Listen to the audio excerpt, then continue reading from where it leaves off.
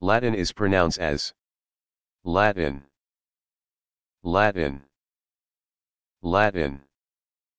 Latin is a language that was spoken by the ancient Romans.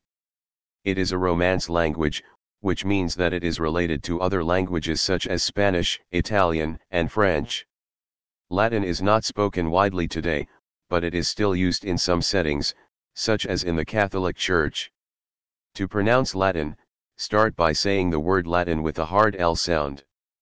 Then, say the word Latin with a long A sound. The last syllable, tin, should be pronounced with a short I sound. Latin is typically pronounced with a British accent.